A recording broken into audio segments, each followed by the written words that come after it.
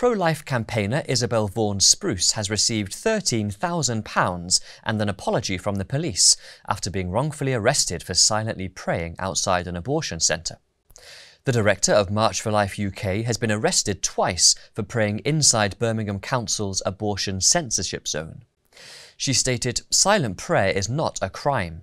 Nobody should be arrested merely for the thoughts they have in their heads.